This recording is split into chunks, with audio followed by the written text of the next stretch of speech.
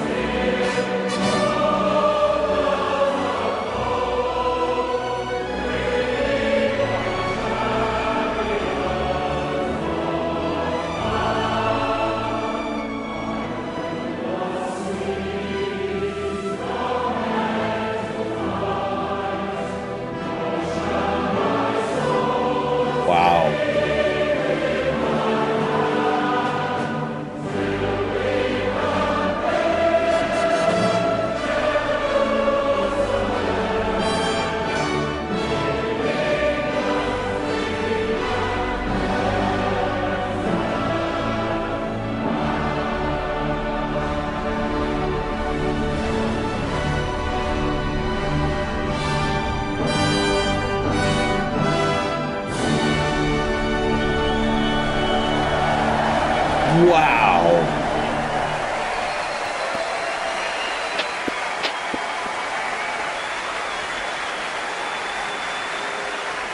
Sir Hubert Parry's hymn Jerusalem in a setting of words by William Blake. That was beautiful. Wow. Let's go ahead and um I'll talk at the end of this. I think they're going to do God Save the Queen now. Wow.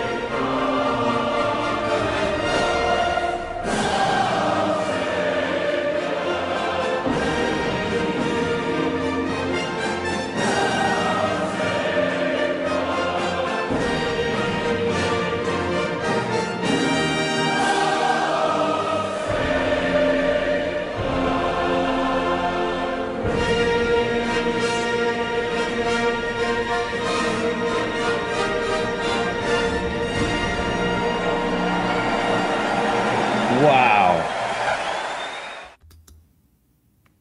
That was amazing. That was beautiful. wow. Well, it's two separate songs here, um, but b- both were just absolutely beautiful.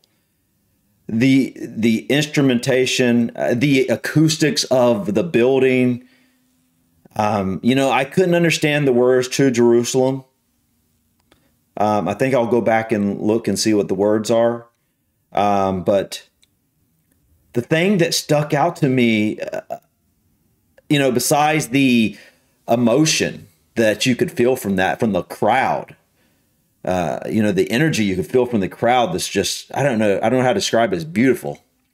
But the crowd literally sounded like a professional choir.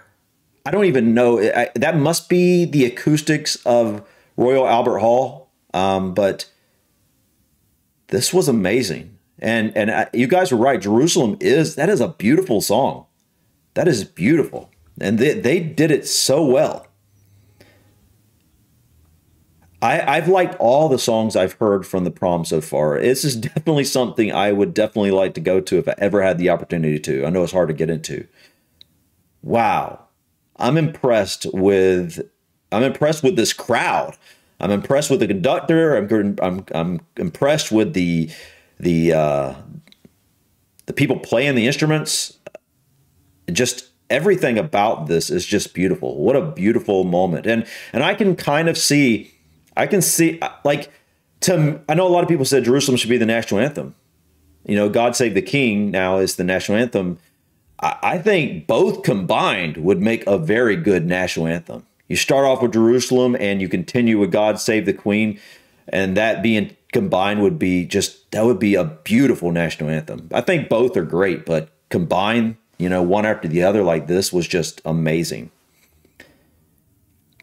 As for uh, uh, God Save the Queen, uh, you know, the first time I heard when I heard God Save the King, it was obviously it didn't have the it didn't have the same energy. It didn't have the same um, the you know the instruments playing and whatnot. It was more the you know the crowd at uh, I forgot where that was, but uh, they were singing to King Charles for the first time, and uh, I thought that was I thought that was good. But this was absolutely moving. You know, if you're a you know if you're a British citizen, I, I don't I don't know how you could watch this and not tear up. It almost had me tearing up, and you know I'm obviously not a British citizen. So I know it's got to. It, I see why everybody recommended this because it, this was a very powerful. I mean, both of them, both renditions here of these two songs, "Jerusalem" and "God Save the Queen," were extremely powerful. What else do you say? I mean, these are just these were absolutely amazing. Adding to the other amazing songs I've already reacted to from last night, the proms. I don't think I can pick a favorite. I know I know a lot of you guys have your favorite here, but they all are they all have a, a different feel, a different energy behind them, a different emotion, and they're all amazing in their own unique ways. And including God Save the Queen as well. That that this rendition was absolutely amazing. Wow. Wow. Um anyways, guys, I'm going to go and uh, back and I'm going to go look at the lyrics for Jerusalem, and I think I might actually re, re- listen to this. This was this was absolutely beautiful, and I appreciate you guys uh, recommending it because without you guys recommending this things like this, there's no way I would probably ever just stumble across them. Um, so I'm very thankful that you guys took the time to recommend things like this for me. Um, anyways, guys, thank you so much for stopping by. Please click that like button feel free to leave your comments, uh, suggestions about uh, you know Jerusalem or God Save the Queen or the Last Night of the Proms, or perhaps you want to recommend something else um, that you feel I should look into or that I might enjoy. Um, also, um, please hit that subscribe button to continue to follow me on my journey to discover my British and Irish ancestry. Until next time, guys, peace.